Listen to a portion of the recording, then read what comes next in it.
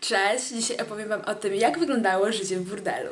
Opowiem o tym, jak tam się znalazłam, skoro na poprzednim filmiku powiedziałam, że nie chcę już tego robić i nie chcę w to dalej brnąć. A nie ukrywajmy, że prostytucja w burdelu jest o poziom wyżej niż sponsoring. Tylko level wyżej jest prostytucja pod latarnią. Tyrówką jeszcze nie byłam, ale wszystko w swoim czasie. A więc pierwsze pytanie. Jak wyglądała rekrutacja? Znalazłam pewien numer w necie i do niego zadzwoniłam. Wiem, bardzo skomplikowana czynność. Ale luz, do tego nie potrzeba wykształcenia średniego, którego zresztą nie mam. Umówiłam się na określony dzień, określoną godzinę, określone miejsce, tak samo jak ze sponsoringiem. E, I przyjechała parka, bardzo, bardzo ładna parka. Naprawdę bardzo ładna parka. E, takich jakby, wiecie, fitnessiarzy, nie? Założyli mi profil na jakiejś stronce, szczerze powiedziawszy, nawet nie wiem jakiej, ponieważ miałam swoją własną, prywatną recepcjonistkę, która odbierała moje telefony. Mówiąc moim głosem oczywiście. Hi, I'm Roxy. I pamiętam, że za każdym razem, jak przychodził do mnie klient, to mówił Ty nie umiesz mówić tak po angielsku, ty nie jesteś Roxana. A ja mówiłam, no, I'm Roxy. Otóż, uwaga, pierwsze wasze pytanie. Czy każda osoba może zostać prostytutką? Otóż nie. A do tego trzeba mieć wykształcenie wyższe. Żartuję. E, musisz mieć w sobie coś, co przyciąga mężczyzn, jak magnes. Tak samo jak nie każda modelka zostanie modelką za ładne ciało i twarz, tak samo nie każda dziewczyna zostanie prostytutką za to, że jest po prostu ładna. Naprawdę, mówiąc w skrócie, musisz mieć coś, co przyciąga facetów. I tu wcale nie chodzi o pieroga między nogami. Kobieta była mną zachwycona, stwierdziła, żebym zrezygnowała ze swojej tamtejszej, ówczesnej, normalnej pracy, ponieważ zrobię o wiele więcej u niej. I tak też zrobiłam, przeprowadziłam się parę dni później już do burdelu. E, Drzwi mi otworzył landlord, czyli właściciel mieszkania. Mówię tak, ponieważ pracowałam w Londynie i chcę, żebyście się wbili w ten klimacik. E, Gadka, szmatka z nim, zaraz miała przyjechać moja szefowa z tym szefem, jednak plany im się pokrzyżowały i nie odbierali ode mnie telefonu przez dwa dni. Ja już w głowie miałam naprawdę przeróżne myśli typu handel ludźmi lub różne tego typu rzeczy. W międzyczasie przyprowadził się do mnie mój chłopak. I tak się to wszystko zaczęło. Eee, jak wyglądało to mieszkanie, a raczej burdel? To było tak, że jak każde inne mieszkanie, w, w którym były dwa pokoje, a pokazuję trzy, ale były dwa, e, opłacone dla dziewczyn, czyli ja za mieszkanie tam nie płaciłam zupełnie nic. E, zupełnie nic, więc mi się opłacało. E, właściciel mieszkania wykorzystał sytuację, że szefostwo nie przyjeżdżało i stwierdził, że muszę jakoś zapłacić za mieszkanie tam, a najlepiej sobą. Tak też zrobiłam. Mm, Nie sprawiało mi to żadnej satysfakcji pod tym względem, że nie czułam potem nawet do siebie obrzydzenia, jeśli wam o to chodzi. A Myślałam, że tak trzeba, jednak po wszystkim powiedziałam tylko nie mów szefowej i wtedy ogarnęłam, że zostałam wykorzystana, więc odpowiadając na pytanie, czy byłam tam wykorzystana, odpowiadam tak. Po dwóch dniach w końcu złapałam kontakt z szefostwem, więc zaczęliśmy działać. A na drugim pokoju, i znowu pokazuję trzy, ale na drugim pokoju e, dziewczyny się ciągle zmieniały, ponieważ nie mogli znaleźć jednej stałej, tak jak mnie, zdecydowanej i chętnej. Dobra, to teraz wam opowie opowiedziałam wam o rekrutacji, opowiedziałam wam, jak to wszystko wyglądało mniej więcej, żebyście mieli tego obraz. A teraz przechodzimy do pytań zadawanych na moim Instagramie hubnesfycyk. Zawczasu prosiłam Was, żebyście zadawali mi pytania, co byście chcieli wiedzieć, a tym bardziej, że na swoim snapie, którego też polecam, a nie, to nie było na swoim, to było na jakimś grupowym, ale yy, miałam na swoim, opowiem z czasem, więc wchodźcie, wchodźcie. Ym, prosiłam, żebyście mi zadawali pytania, więc sobie zescreenowałam wszystko. Boże, ile tego jest. Naprawdę, wow, wow, wow, szkoda tylko, że większość się powtarza. Także co, zaczynamy! Pytanie. E, ile zarabiałam dziennie? E, to wyglądało tak, że zarab- potrafiłam wydoić od 200 do 400 funtów dziennie. Już dla mnie. Sytuacja wyglądała tak, że z Alfonsem dzieliłam się 50 na 50, 50-50 jest. And, e, I dajemy na to, e, za klasyczny seks na godzinę było 100 funtów. Jednak wszystkie ekstrasy typu anal, rimming, piercing, tak, rimming to lizanie czyjegoś odbytu. Dostawałam 50 funtów ekstra, e, tylko dla mnie. Czyli typ przychodził na godzinę z ekstrasami, to ja dostawałam 100 funtów, Alfons 50. Jednak jeżeli klient przychodził na godzinę czystego, klasycznego seksu, to było 100 funtów, czyli 50 dla Alfonsa, a 50 dla mnie. Mam nadzieję, że czajecie bazę. E, tak to mniej więcej wyglądało, zapisywałam sobie wszystko, skreślałam, ile na przykład zarobiłam. Tutaj była kwota, ile szef dostał, ile ja. I wiecie, rozpiska. Czyli u mnie cenik wyglądał tak, że 15 minut 50 funtów, 30 minut 70 funtów, 1 godzina e, 100, e, 100 funtów oraz ekstrasy anal, rimming, piercing, kolejne 30, 10, 10 funtów. Kolejne pytanie, e, jak wyglądały moje godziny pracy? Moje godziny pracy wyglądały tak, że pracowałam niby od 10 rano do 10 wieczorem, później mi zmieniono grafik od 16 do 3 nad ranem. Jednak to wyglądało tak, że mimo wszystko recepcjonistka była dosyć specyficzna i dzwoniła do mnie o 13, że o, klient już stoi pod drzwiami i, i co teraz? Miałam, miałam go przyjąć. Mimo, że śmierdziało ode mnie rybą, miałam bobera i rozwolnienie przykładowo. Kolejne pytanie. Czy nie bałam się, że jako gruba dziewczyna nie, będę miała klientów, a więc są gusta i guściki? Jednak e, statystycznie mówiąc szczerze, na, dajmy na to. 10 klientów dziennie, trzech wychodziło e, za to, że jestem gruba, mimo że zdjęcia pokazują jaka jestem realnie. I e, zazwyczaj to wyglądało tak, że mówili, że nie wiem, portfel zostawili albo fajki w aucie, a ja już wiedziałam, że nie wrócą, jak ja mówiłam bye, see you, nie? I, i nie wracali. Więc rada dla Was na przyszłość, jeżeli będziecie kiedyś chcieli z takich usług skorzystać, od razu powiedzcie, nie podobasz mi się, nara, żebym ja nie czekała jak głupia na Ciebie. Znaczy, nie mówię, że akurat to mam być ja, nie? Kolejne pytanie. Główne typy klientów nie było takiego głównego typu. Przedział wiekowy u mnie to było od 20 do 70 lat.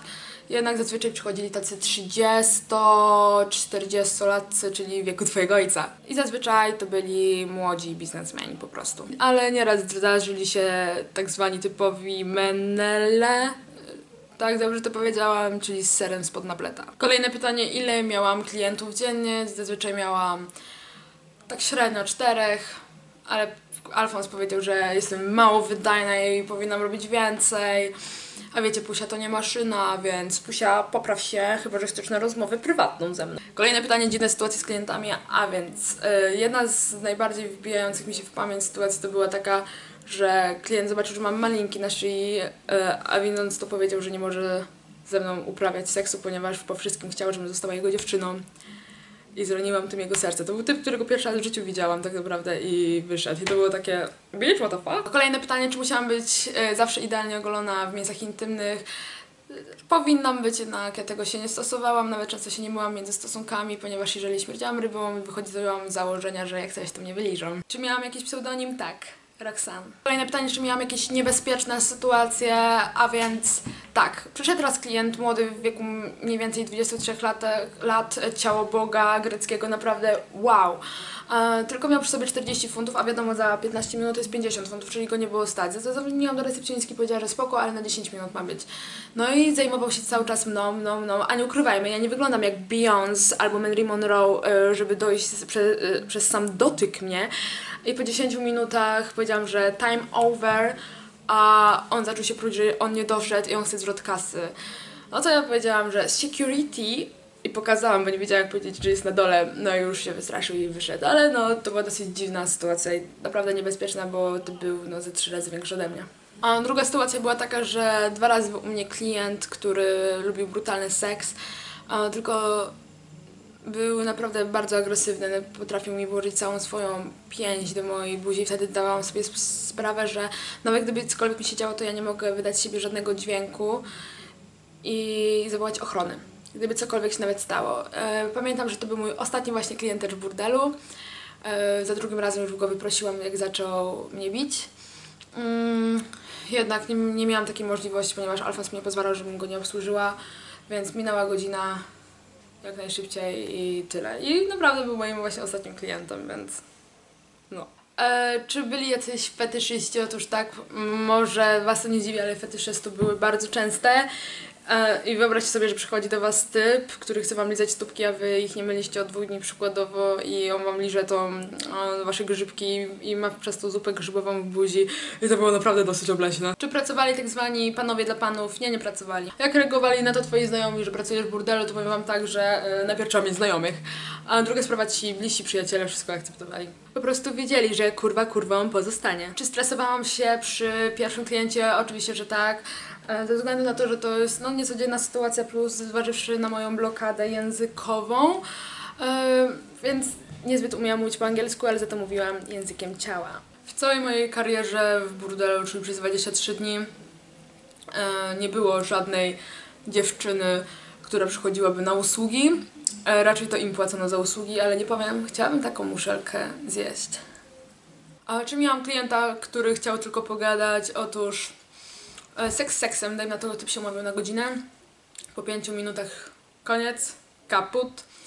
I mm, przez 55 minut leżeliśmy i gadaliśmy. I zawsze się tutaj zastanawiałam, czemu oni wezmą 15 minut, skoro wiedzą, że tak szybko dojdą. Bo zapłacą połowę mniej, a mają tą samą usługę, ale wiecie, dla mnie to była korzyść, nie? Ze wszystkich klientów, jakich obrobiłam, czyli 75, był tylko jeden Polak. Jak dogadywałam się z szefem, e, bardzo dobrze do momentu, kiedy nie powiedziałam, że chcę zrezygnować. Wtedy powiedział mi, że chciał mnie tylko wykorzystać i zbić na mnie kasę. Dlaczego uciekłam z burdelu? E, pojawiła się nowa dziewczyna, która była bardzo toksyczna, pod takim względem, że na trzeźwo była naprawdę super dziołchą. Jednak wiadomo, po kresce i po alkoholu już jej odwaliło i była dosyć agresywna względem mnie. Czy Alfons mógł mieć mnie kiedy tylko chce? E, nie, Alfonsi raczej tak nie chcieli. E, teraz po, moim doświadczeniu w burdelu wiem, że po prostu za darmo bym nikomu nie dała. Czy burdel wygląda tak jak na filmach, czyli e, bardzo brudne i źle traktowane prostytutki? Otóż nie, burdel jest bardzo czystym mieszkaniem. Ja mam to do siebie, że jestem strasznym bałaganiarą. Mi zwracali uwagę właśnie na porządek. A czy źle są traktowane prostytutki przez klientów? Nie. Czy naprawdę musiałam lizać odbyty facetom? E, oczywiście, że tak, to się profesjonalnie nazywa rimming. E, I polega to na tym, że ja liżę odbyt facetowi albo facet liże odbyt mi. A co taki ciekawski, chcesz się zapisać? Czy da się tak po prostu uciec z burdelu bez konsekwencji? Nie wiem. Zobaczymy. Czy się nie bałam chorób płciowych przenoszonych... Czy się nie bałam chorób przenoszonych drogą płciową? A więc... że kondom może pęknąć i tak dalej. Używałam kondoma, jednak nieraz miałam klientów, którzy wsadzali, próbowali mi wsadzić bez kondoma na siłę, e, uciszając mnie przy tym. E, jednak czy się boję, nie wiem. Wszystko się okaże w planie, kiedy zrobię badania. Jednak, e, dopóki wiecie, jeżeli nic nie wiesz, to nie jesteś chora, nie? Więc e, odwlekam te badania ciągle. Jak wyglądała higiena między klientami, jeżeli śmierdział, mówiłam idź się umyj. Czy miałam jakąś przerwę na poprawienie make-upu między klientami? Otóż zależy, ponieważ e, czasami była to przerwa parogodzinna, ponieważ po prostu nie było ruchu, a kolejnego dnia, wiadomo, dzień dniowi nierówny. Było tak, że jeden klient wychodził, a drugi już czekał pod drzwiami. I wszystko zależne w ciągu tych, tej mojej całej kariery prostytutki. Miałam tak naprawdę dwa dni wolnego, tylko i też była awantura, dlaczego ja w ogóle mam wolne, mimo że dużo wcześniej już jej umawiałam, bo nie ukrywajmy ci, to nie maszyna też muszę odpocząć.